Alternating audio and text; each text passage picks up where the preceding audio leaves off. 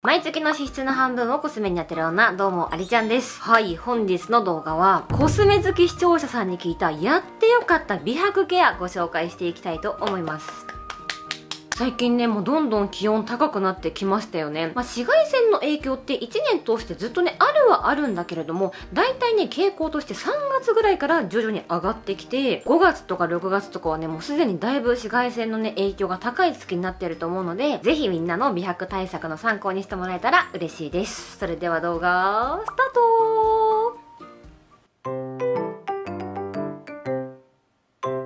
はい、そしたらですね、まず最初はもうすごくね、当たり前のものから紹介すると、もう大前提として日焼け止めをね、しっかり塗るってことがまず一番の基礎中の基礎です。やっぱね、みんなからの意見としても、とにかくね、日焼け止めをしっかり塗ってますってね、声はすごく多かったんだけど、その中でもね、特に意見が来ていた商品が、アネッサとビオレ UV ミストでした。はい、この2つですね。まあもうアネッサに関してはね、それこそ私も今まで何回かね、あの、日焼け止めのね、比較動画撮ったことあるんですけどやっぱね数ある日焼け止めの中でもね特に焼けにくさにね特化してるっていう印象はねかなりありますね。それこそ私がね今持ってるこちらアネッサのパーフェクト UV スキンケアジェル NA っていう商品なんだけどこれも新技術のオートリペア機能っていうものがね搭載されていて顔のね表情の動きによって起きてしまうよれだったりとかあとね隙間っていうのを自動でね埋めめてくれるっていうね新技術がね採用されてるんですよ。その他にも汗とか熱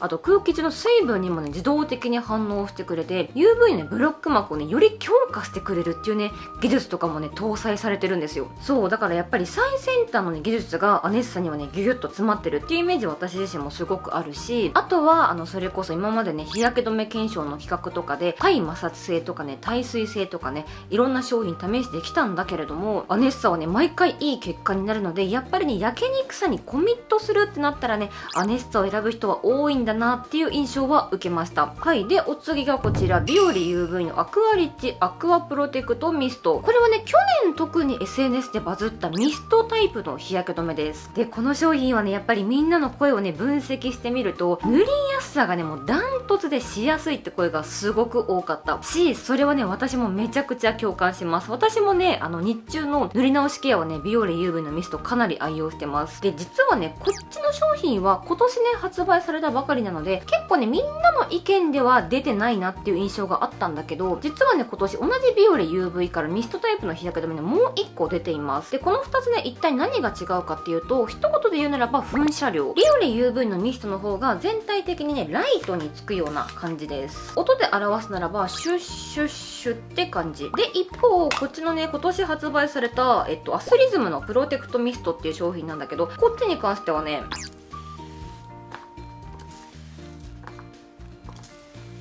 この違い分かりますか？圧倒的に1回の噴射量がこっちの方がね多いです。音で表すならばこっちはシューシューシューっていう感じ。個人的には細かいところにパパッと塗り直しをしたいんだったらこっちのねアクアリッチアクアプロテクトミストが塗りやすいかなと思っていて広い範囲に一発で塗りたいって時はこっちのアスリズムプロテクトミストの方が塗りやすいかなと思います。ミストタイプの良さはあの塗り直しねしやすいっていうのはもちろんなんだけどスプレータイプと比較をすると捨てる時の処理がね簡単っていうのも大きいしあとは音がねあんまり鳴らないからそれこそあんま周りをね気にせずパパッと塗り直しができるっていうのもねすごく便利だと思う。まあ、なんだけど1個ね残念ポイントが実はねこのミスト顔にね直接つけるのが NG なんですよ。顔につける際は手にね1回こうやってプシュプシュ出してなじませてからポンポンポンポンとつけてくださいっていうのがねあのブランドさんが推奨してるんですけどこの商品ねちょっとアルコール感が強いのね。だから顔にね私1回間違えて顔にねかけてたことあるんだけどアルコールがね強すぎて目がめっちゃ痛くなっちゃったの。そうだからね顔にもねこれで簡単に塗り直しができたらめっちゃいいなって思うんだけど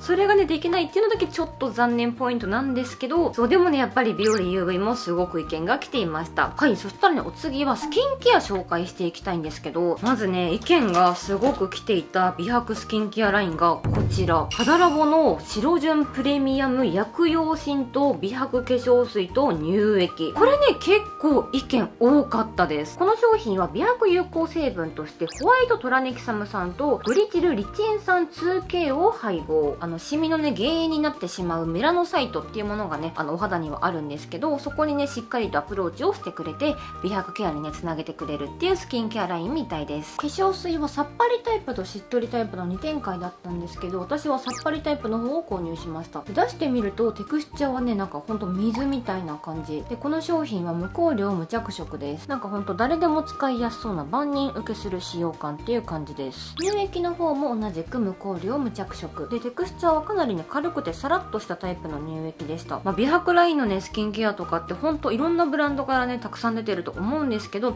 一番ね票数が多く集まっていたなと思ったのがこの白順でした。でその他にもよりね多く来ていたシリーズがポーラのホワイトショットシリーズです。ホワイトショットシリーズもねすごく人気の印象あったし私もねホワイトショットラインはすごく大好き。でいくつかね意見が集中してるかなって思ったのがこのねシートマスクとあとねこれサップリメントですね。まずシートマスクがポーラホワイトショットマスク QX XS このシートマスクは美白はもちろんなんだけれどもその他にも肌荒れとかあとね保湿とか結構多機能をねアプローチしてくれるそんなシートマスクになっています。あの私ねポーラのスキンケアがすごく大好きで結構ね今までもいろんなものを使わせてもらったんですけどポーラのスキンケアシリーズの特徴ってねポーラ独自の有効成分がね入ってるっていうところなんですよね。あの本当にねポーラって技術が本当にすごくてそれこそねすごく最先端のスキンケアのね開発をしてる会会社なんですけどもちろんねこのポーラのホワイトショットマスク QXS にもですねあの日本で約10年ぶりにねあの承認されたポーラ独自の美白有効成分がねこのシートマスクには配合されていてその結果メラニンの蓄積とかをね抑えてシミとかねそばかすにアプローチをしてくれるそんなシートマスクになっています。私もなんか今日は一日めちゃくちゃ紫外線浴びちゃったなっていう人とかは夜にね必ずこのシートマスクをするようにしてます。ちなみにシートの形はこんな感じ。輪郭部分に少し切れり込みが入っていてシート自体は気持ち少し薄め。実際にお顔につけてみるともともと入っていた切れ込みがいい感じにストレッチが効いてこの通りしっかりに空気を入れずに密着させることができました。で特に香りとかもねついていません。そしたら10分ほど放置していきます。はい10分経ちました。仕上がりのお肌はこんな感じ。この通りしっかりねお肌プルプルになってます。でこれはシートマスクなのでこの後にクリームで蓋をしてスキンケアが完了です。はい。でお次がねこちらのサプリ。ポーラホワイトショットインナーロックタブレットですね、まあ、これもねちょっと高価なサプリメントかなと思うんだけれどもまあ一言で言うならば体の内側からの透明感サポートに着目して作られたサプリメントです。開けてみると中身はこんな感じになっていました。おいしょ。サプリメント自体はこのぐらいの大きさ、まあ、サプリメントとしては平均的なサイズ感ですかね。飲み方としては1日2粒を目安に噛まずに水なのでお召し上がりください。と書いてあります。噛まないってことはあんまり味関係ないのかなと思うんですけど一応食べてみます。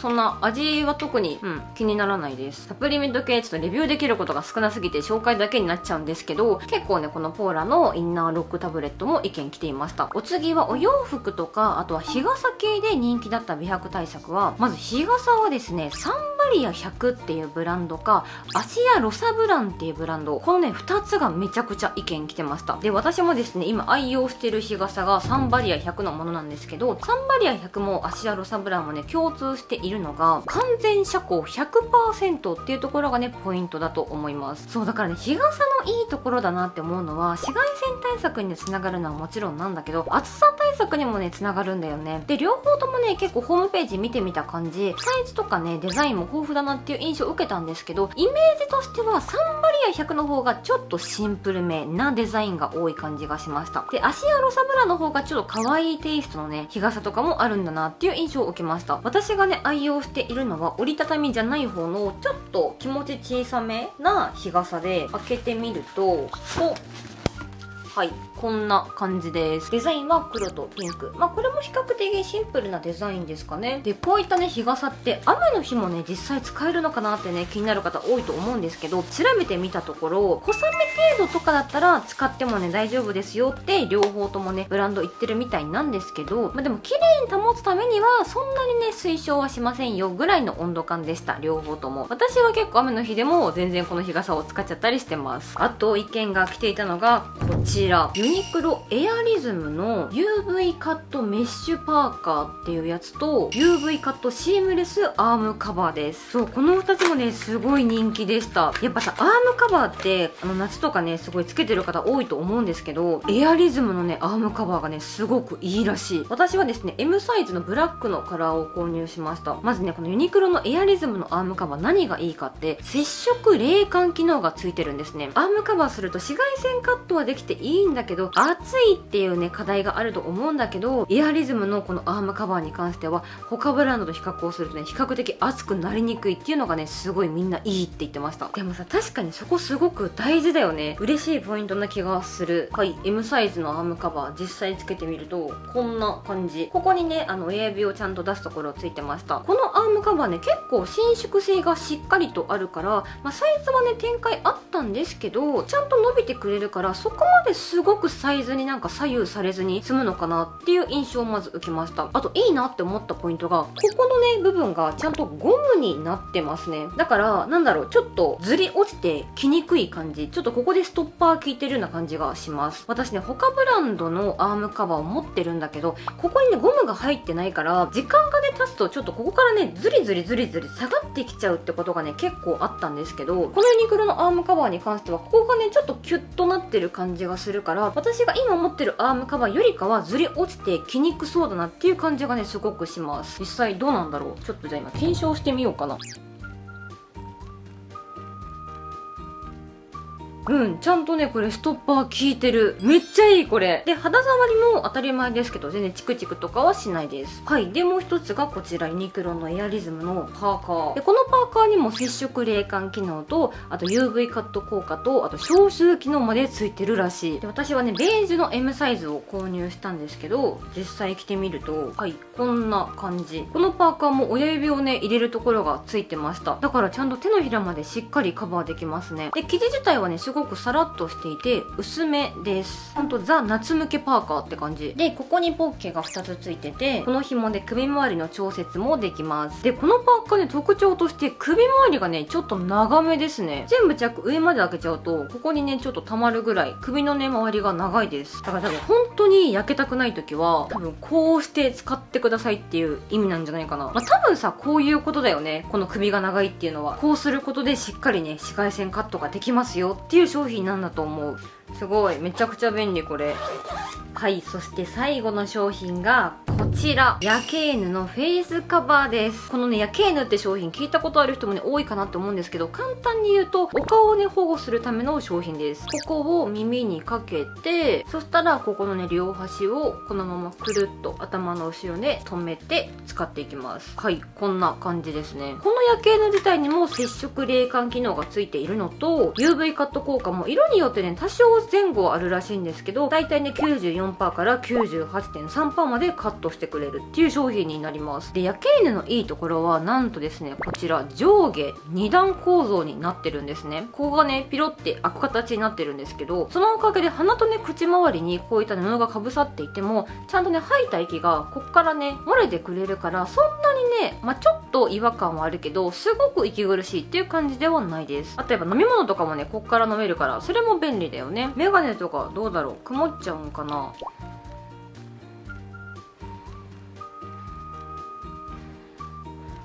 全然曇んないですね。耳のところには調節リングがねついているのでこれで長さを変えることもできました。えだからさユニクロとさ合わせ技をするとさ